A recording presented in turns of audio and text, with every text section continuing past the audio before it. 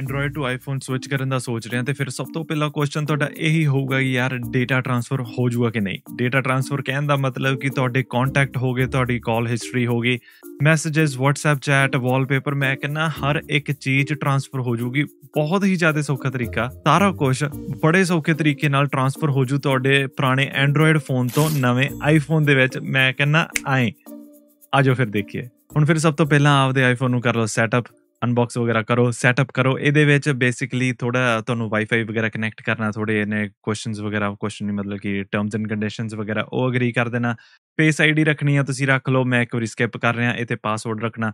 ਮੇਰੇ ਵਾਂਗੂ ਇਹ ਤੇ 00 ਵਗੈਰਾ ਨਾ ਰੱਖਿਓ, ਕਿਉਂਕਿ ਮੈਂ ਤਾਂ ਸਿਰਫ ਵੀਡੀਓ ਵਾਸਤੇ ਇੱਕ ਵਾਰੀ ਰੱਖਿਆ ਸੀਗਾ ਸਟਰੋਂਗ ਪਾਸਵਰਡ ਰੱਖਿਓ। ਕੋਈ ਇਹ ਕੋਈ ਮਤਲਬ ਨਹੀਂ ਹੁੰਦਾ ਕਿ 555 ਰੱਖ ਲੈ ਜਾਂ 00 ਰੱਖ ਲੈ ਵਟਐਵਰ ਉਹ ਚੀਜ਼ ਨੋ ਫਿਰ ਜਦੋਂ ਆਪਾਂ ਨੂੰ ਐਪਸ ਐਂਡ ਡਾਟਾ ਟ੍ਰਾਂਸਫਰ ਦਾ ਆਪਸ਼ਨ ਆ ਜਾਂਦਾ, ਉਦੋਂ ਫਿਰ ਆਪਾਂ ਆਪਦੇ ਐਂਡਰੋਇਡ ਫੋਨ ਦੇ ਉੱਤੇ ਇੰਸਟਾਲ ਕਰਨੀ ਆ ਮੂਵ ਟੂ iOS ਐਪ ਫਿਰ ਆਪਾਂ ਇੱਥੇ ਆਈਫੋਨ ਤੇ ਜਦੋਂ ਸਿਲੈਕਟ ਕਰਾਂਗੇ ਫਰੋਮ ਐਂਡਰੋਇਡ ਤੇ ਇੱਥੇ ਆਪਣੇ ਕੋਲੇ ਇੱਕ ਕੋਡ ਆ ਜਾਊਗਾ। ਜਦੋਂ ਉਹ ਕੋਡ ਆ ਗਿਆ, ਭਰਨਾ ਹੋਊਗਾ move to iOS app Android ਦੇ ਉੱਤੇ। ਜਦੋਂ ਐਂਡਰੋਇਡ ਦੇ ਵਿੱਚ ਆਪਾਂ ਸਾਰਾ ਇਹਨੂੰ ਸੈਟਅਪ ਕਰ ਲੈਣਾ ਐਪ ਨੂੰ, ਤੇ ਉਸ ਤੋਂ ਬਾਅਦ ਇੱਥੇ ਆਪਾਂ ਨੂੰ ਵਾਈਫਾਈ ਜਾਂ ਫਿਰ ਵਾਇਰਡ ਦਾ ਆਪਸ਼ਨ ਆ ਜਾਂਦਾ, ਆਪਾਂ ਵਾਈਫਾਈ ਵਾਲਾ ਚੂਜ਼ ਕਰਾਂਗੇ।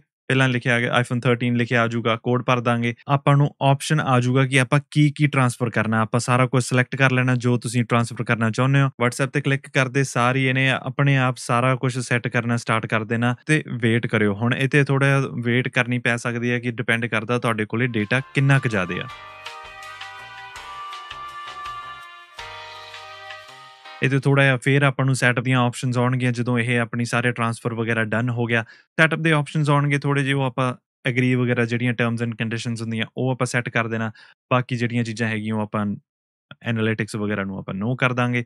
ਇਹ ਸਾਰੀਆਂ ਚੀਜ਼ਾਂ ਕਰਨ ਤੋਂ ਬਾਅਦ ਇੱਥੇ ਆਪਾਂ ਨੂੰ ਇਹਨੇ ਐਪਸ ਬਾਰੇ ਪੁੱਛਣਾ ਕਿ ਐਪਸ ਇੰਸਟਾਲ ਕਰਨੀਆਂ ਕਿ ਨਹੀਂ। ਆਪਾਂ ਐਡ ਐਪਸ ਤੇ ਕਲਿੱਕ ਕਰ ਦੇਣਾ ਤੇ ਉਸ ਤੋਂ ਬਾਅਦ ਜਦੋਂ ਤੁਸੀਂ ਇੱਥੇ ਅਗਲੇ ਪੇਜ ਤੇ ਜਾਓਗੇ, ਲਓ ਜੀ ਸਾਰੀਆਂ ਐਪਸ ਇੱਥੇ ਸ਼ੋ ਹੋ ਗਈਆਂ। ਹੁਣ ਗੱਲ ਇਹ ਆਉਂਦੀ ਆ ਕਿ ਤੁਹਾਨੂੰ ਆਪਦੇ ਐਪ ਸਟੋਰ ਨੂੰ ਸੈਟਅਪ ਕਰਨਾ ਪੈਣਾ ਆਪਦੇ ਆਈਫੋਨ ਦੇ ਉੱਤੇ।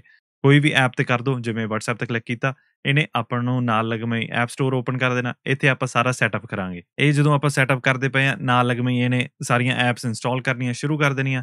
ਆਪਣਾ WhatsApp ਇੰਸਟਾਲ ਹੋ ਗਿਆ, ਆਪਾਂ WhatsApp ਨੂੰ ਓਪਨ ਕਰਾਂਗੇ, ਉੱਥੇ ਆਪਦਾ ਨੰਬਰ ਵਗੈਰਾ ਐਡ ਕਰਕੇ ਜੇਕਰ ਤੁਸੀਂ ਟੂ ਫੈਕਟਰ ਅਥੈਂਟੀਕੇਸ਼ਨ ਵਗੈਰਾ ਲਾਈ ਹੋਈ ਹੈ, ਜਿਹੜੀ ਮੈਂ ਰეკਮੈਂਡ ਕਰਦਾ ਕਿ ਲਾਉਣੀ ਚਾਹੀਦੀ ਆ। ਤੇ ਜੇ ਤੁਸੀਂ ਉਹ ਲਾਈ ਹੋਈ ਆ ਉਹ ਸਾਰਾ ਕੁਝ ਕਰੋ ਆਪਦਾ ਕੋਡ ਵਗੈਰਾ ਭਰੋ ਉਸ ਤੋਂ ਬਾਅਦ ਇਹ ਤੁਹਾਨੂੰ ਆਪਸ਼ਨ ਆ ਜਾਊਗਾ ਮੂਵ ਚੈਟਸ ਫਰੋਮ ਐਂਡਰੋਇਡ ਕਿੰਨਾ ਕੁ ਟਾਈਮ ਲੱਗੂਗਾ? ਫਿਰ ਤੁਹਾਡਾ ਡਾਟਾ ਕਿੰਨਾ ਕੁ ਹੈਗਾ? ਚੈਟਸ ਜਾਂ ਫਿਰ ਤੁਹਾਡੀਆਂ ਫੋਟੋਜ਼ ਵੀਡੀਓਜ਼ ਕਿੰਨੀਆਂ ਕੁ ਹੈਗੀਆਂ? ਉਸ ਅਕੋਰਡਿੰਗਲੀ ਇਹਨੇ ਟਾਈਮ ਲੈਣਾ। One eternity later. ਜਦੋਂ ਤੁਹਾਨੂੰ ਇਹ ਵਾਲੀ ਸਕਰੀਨ ਸ਼ੋ ਹੋਗੀ ਮਤਲਬ ਕਿ ਤੁਹਾਡਾ WhatsApp ਹੋ ਗਿਆ ਪ੍ਰੋਪਰ ਟ੍ਰਾਂਸਫਰ ਹੁਣ WhatsApp ਵੀ ਟ੍ਰਾਂਸਫਰ ਹੋ ਗਿਆ ਤੁਸੀਂ ਚੈੱਕ ਕਰ ਸਕਦੇ ਆ ਕੰਟੈਕਟਸ ਵੀ ਆ ਗਏ ਫੋਟੋਜ਼ ਵੀ ਆ ਗਈਆਂ।